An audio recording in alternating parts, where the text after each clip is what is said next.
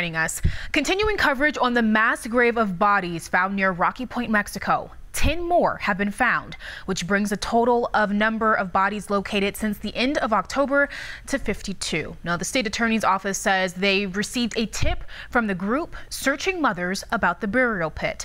Forensic scientists are still conducting autopsies on the bodies found so far.